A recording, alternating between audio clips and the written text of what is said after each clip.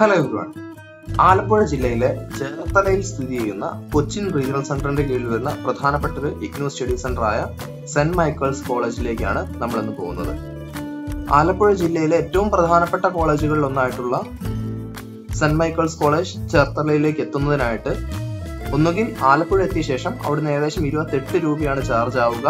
നമുക്ക് ചേർത്തല പോകുന്ന ഏതൊരു ബസ്സിൽ കയറിയാലും കോളേജിന് മുന്നിൽ ഇറങ്ങാവുന്നതാണ്. ഇനി അതല്ല എറണാകുളത്തു നിന്നെല്ലാം വരുന്നവർക്ക് ചേർത്തല എത്തുന്നതാണ് എളുപ്പം. അവിടെ നിന്ന് ഏകദേശം പതിമൂന്ന് രൂപ കൊടുത്തു കഴിഞ്ഞാൽ നമുക്ക് സെന്റ് മൈക്കിൾസ് കോളേജ് ചേർത്തലയിലേക്ക് എത്താവുന്നതാണ്. ആലപ്പുഴയിൽ നിന്ന് കയറിയാലും ചേർത്തലയിൽ നിന്ന് കയറിയാലും നിങ്ങൾ ഇറങ്ങേണ്ടത് പതിനൊന്നാം മൈൽ സ്റ്റോപ്പിൽ അല്ലെങ്കിൽ സെന്റ് മൈക്കിൾസ് കോളേജ് സ്റ്റോപ്പ് എന്ന് പറഞ്ഞാലും ബസ്സുകാർ ഇറക്കിത്തരും നമ്മൾ കോളേജിലേക്ക് പോകാൻ തീരുമാനിച്ച ദിവസം നല്ല മഴയാണ്. എന്നിരുന്നാലും ബസ്സിലാണ് യാത്ര എന്നുള്ളതുകൊണ്ട് വലിയ ബുദ്ധിമുട്ടുണ്ടായില്ല.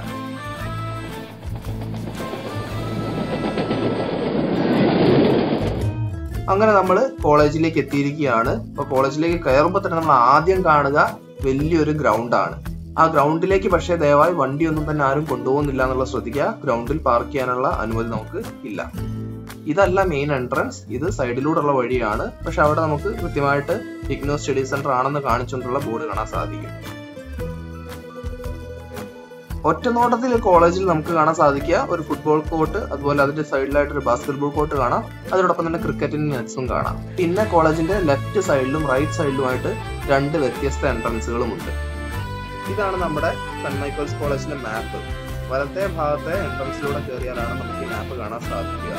അങ്ങനെ നമ്മൾ കോളേജിലേക്ക് കയറിയ ഉടനെ തന്നെ കാണുന്നത് ഇഗ്നോ എക്സാമിനേഷൻ ലൈബ്രറി ഹാളിൽ നടക്കുന്നുണ്ട് എന്ന് തൃശ്ശൂരിൽ ഒട്ടിച്ചിരിക്കുന്നതാണ് ചോദിച്ചപ്പോൾ മനസ്സിലാക്കാൻ സാധിച്ചത് ലൈബ്രറി ഹാളിൽ തന്നെയാണ് ഇഗ്നോ ടേമിന്റെ എക്സാമിനേഷൻസ് എല്ലാം തന്നെ നടത്തി വരുന്നത് എന്നുള്ളതാണ്.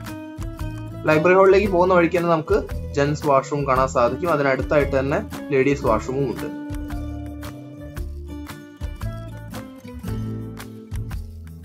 കോളേജിനകത്ത് വ്യത്യസ്ത ഇടങ്ങളിലായിട്ട് നമുക്ക് വണ്ടി പാർക്ക് ചെയ്യാവുന്നതാണ്. സ്റ്റാഫ് പാർക്കിങ്ങിലും അതുപോലെ തന്നെ നേരത്തെ സൂചിപ്പിച്ച പോലെ ഗ്രൗണ്ടിലും വണ്ടി പാർക്ക് ചെയ്യുന്നില്ല എന്നുള്ളത് പ്രത്യേകം ശ്രദ്ധിച്ചാൽ മതിയാവും.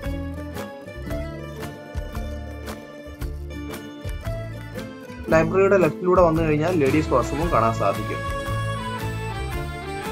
അല്ലെങ്കിൽ റിപ്പോഗ്രാഫിക് സെന്റർ എന്ന് ചോദിച്ചു കഴിഞ്ഞാലും നിങ്ങൾക്ക് ലേഡീസ് വാഷ്റൂമിന്റെ അടുത്തേക്ക് എത്താവുന്നതാണ്.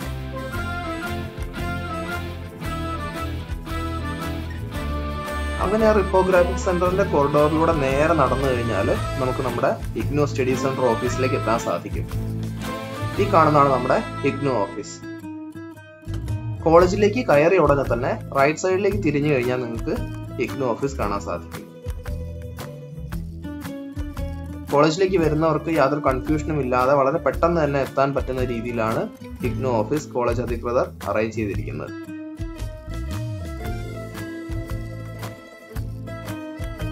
ഇപ്പൊ നമ്മൾ കണ്ടുകൊണ്ടിരിക്കുന്ന ലൈബ്രറിയുടെ സെക്കൻഡ് ഫ്ലോറിലായിട്ടാണ് പൊതുവെ പരീക്ഷകൾ നടത്തി വരുന്നത് ഇഗ്നോന്റെ പരീക്ഷ എഴുതാൻ വന്ന വിദ്യാർത്ഥികളൊക്കെ നമുക്ക് കാണാൻ സാധിക്കുന്നുണ്ട്. ഒരുപാട് ആൾക്കാർ ഓപ്റ്റ് ചെയ്യുന്ന ഒരു സ്റ്റഡി സെന്റർ കൂടിയാണ് ചേർത്തലയിലുള്ള സെന്റ് മൈക്കിൾസ് കോളേജ്.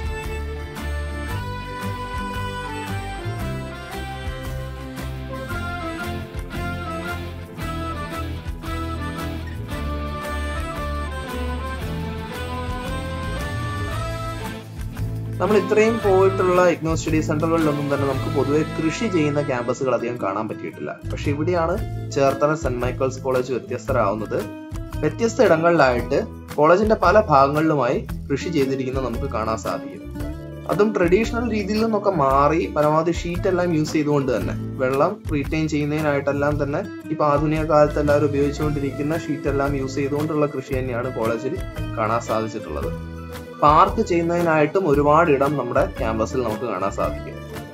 കോളേജിന് നേരത്തെ പറഞ്ഞ പോലെ തന്നെ രണ്ട് എൻട്രൻസ് റൈറ്റിലൂടെയും ലെഫ്റ്റിലൂടെയുമാണ് ലെഫ്റ്റിലൂടെ കയറി കഴിഞ്ഞാൽ ക്യാന്റീനും സ്റ്റാഫ് പാർക്കിങ്ങും അതുപോലെ സ്റ്റോറും ഒക്കെ തന്നെ നമുക്ക് കാണാൻ സാധിക്കും. റൈറ്റിലൂടെയാണ് കയറുന്നതെങ്കിൽ ക്യാമ്പസിന്റെ വലിയൊരു മാപ്പും അതുപോലെ ലൈബ്രറി ഹാൾ നമ്മൾ എക്സാം എഴുതുന്ന ഹോളും എല്ലാമാണ് ആദ്യം എത്താൻ സാധിക്കുക. ഇനി അക്കാഡമിക് ബ്ലോക്കിന്റെ എൻട്രൻസിലൂടെ കയറിയ ഉടനെ റൈറ്റ് സൈഡിലായിട്ട് നമുക്ക് ഇഗ്നോന്റെ ഓഫീസിൽ കിട്ടും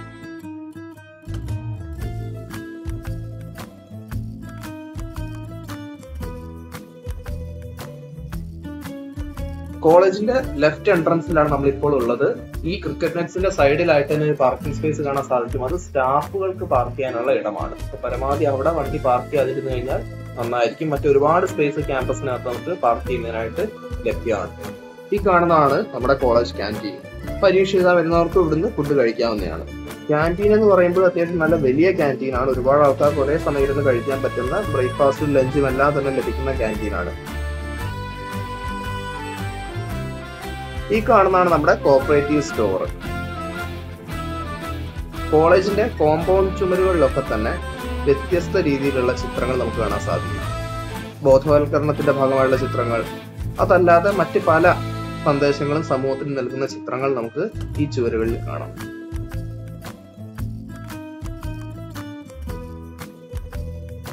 അങ്ങനെ നമ്മൾ സെന്റ് മൈക്കിൾസ് കോളേജ് ചേർത്തലയിൽ നിന്ന് ഇറങ്ങുകയാണ്. കോളേജിനകത്തെ പ്രധാനപ്പെട്ട ബിൽഡിങ്ങുകളും പരീക്ഷ എവിടുന്നാണ് വിവരങ്ങൾ അറിയുന്നതിനായിട്ട് ചെല്ലാൻ ടെക്നോ ഓഫീസ് സ്റ്റോർ ഉണ്ടോ ക്യാന്റീൻ ഉണ്ടോ വാഷ്റൂംസ് എവിടെയാണെന്നുള്ള തുടങ്ങിയ കാര്യങ്ങളൊക്കെ തന്നെ നമ്മൾ അഡ്രസ്സ് ചെയ്തിട്ടുണ്ട്.